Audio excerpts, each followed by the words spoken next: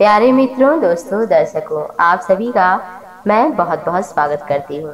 आप सभी दोस्तों को हमारा प्यार भरा नमस्कार। आप सभी पर ईश्वर की कृपा बनी रहे। इसी शुभ मंगल प्रार्थना के साथ मैं उपस्थित हूँ आप सभी के स्वप्न का फल एक बार फिर से आप सभी तक पहुँचाने के लिए।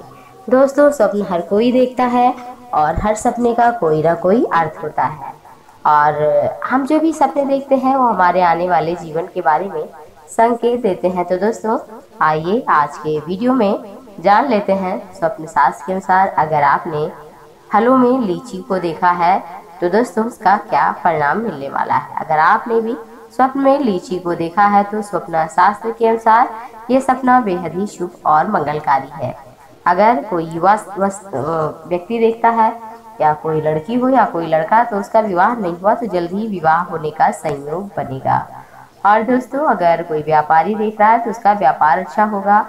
कोई रोगी अगर देख रहा है तो उसका रोग ठीक होगा।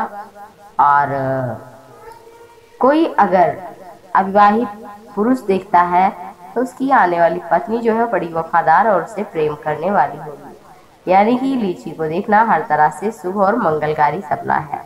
तो दोस्तों, ये रहा स्वप्न में लीची को देखने का शुभ परिणाम।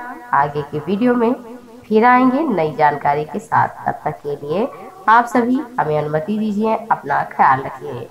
नमस्कार बहुत बहुत धन्यवाद।